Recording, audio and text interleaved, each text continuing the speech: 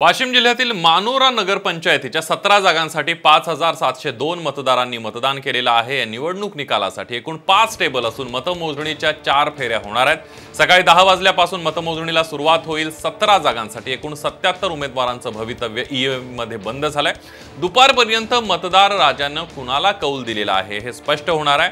मुंगसाजी भवनमध्ये प्रशासनानं मतमोजणीची तयारी केली आहे. तसंच मोठा बंदोबस्त सुद्धा तैनात करण्यात आलेला आहे. वाशिममधल्या तयारीचा आढावा घेतला आमचे प्रतिनिधी गजानन भोयर यांनी.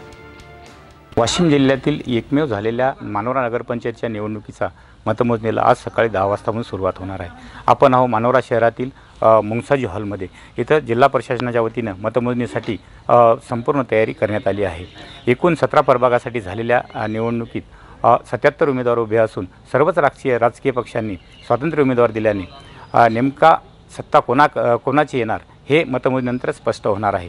एकूण मतमोजणीसाठी पाच टेबल असून चार फेऱ्या होणार असल्याची माहिती जिल्हा प्रशासनाकडून सांगण्यात आली आहे.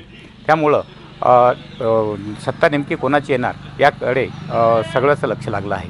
Gajanan Bhoyar Saam T V news Manora Washim.